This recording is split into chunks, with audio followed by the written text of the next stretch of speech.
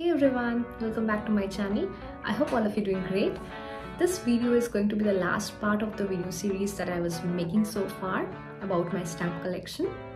So in this video, we're going to see uh, stamps from uh, Northern and Southern America and also from Oceania and uh, some more countries from Asia. Uh, I hope you all will like it. So let's get started. So I'll start with stamps from Russia. This package was gifted to my father by one of his pen friends when they got to know about my hobby and no doubt it became one of my most cherished possessions but I'm yet to put it in my diary. Coming to the ones that are already in the diary. Here are some stamps from Republic of South Africa where many of the stamps shows images of water lilies uh, of different species which are quite abundant there. Next I have stamps from Middle East like Yemen, Qatar and then this one is from Bahrain and Kuwait, and Oman.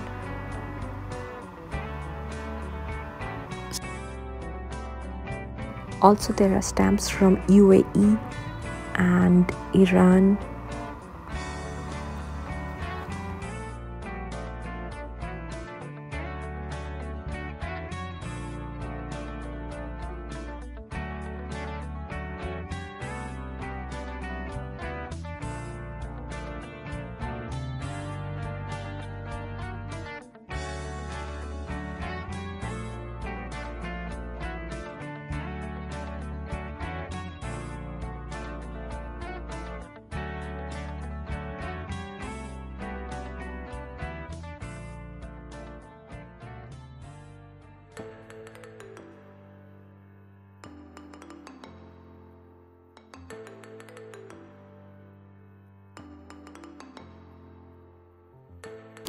The next country is Fiji, which is in the continent of Australia or Oceania.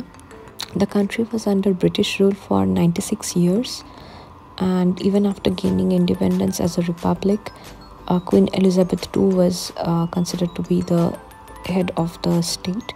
So, most of the stamps have an image of the queen on the right hand top corner.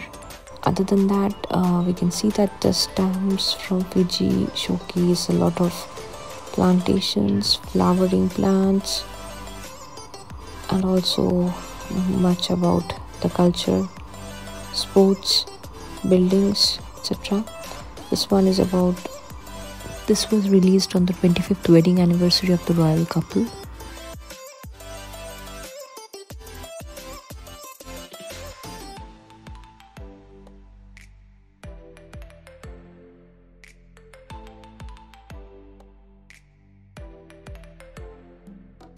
Next moving to North America, here I have few stamps from US and Canada.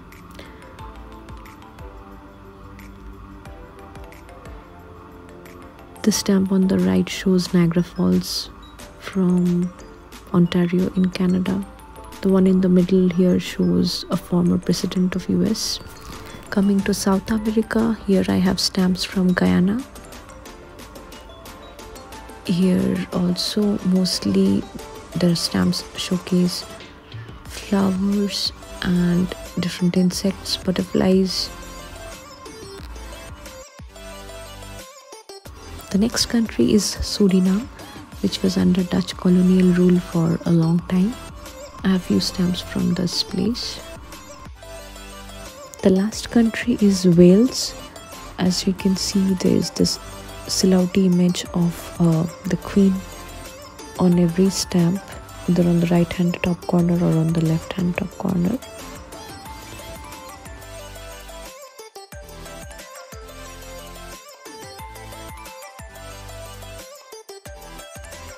Here are some picturesque images of castles. That was all of my collection for now. I hope it was informative and interesting if you have any questions, do let me know in your comments. See you again in some other video. Bye.